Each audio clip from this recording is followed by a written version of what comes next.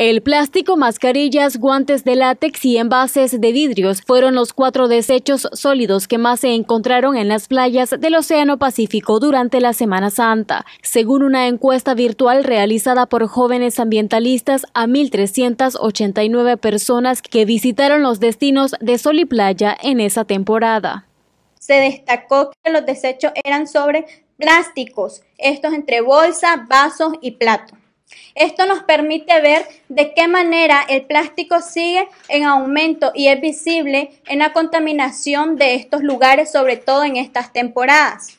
Y también es necesario destacar que dado el contexto en que nos encontramos del coronavirus, ahora se hace presente, ¿no? También estas mascarillas y guantes que son las herramientas necesarias para poder protegernos de esta pandemia.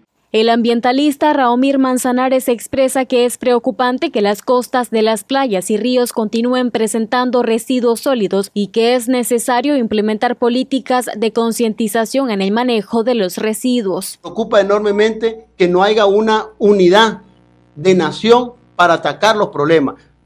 Nosotros tuvimos en el 2010, en el 2018, reformado en el 2017, el decreto del estudio de impacto ambiental del 18 para acá, quien ha pagado toda esta crisis que vive el país es el medio ambiente y los recursos naturales, porque no se ha aplicado la ley, no se ha aplicado la sanción y no se han aplicado los estímulos.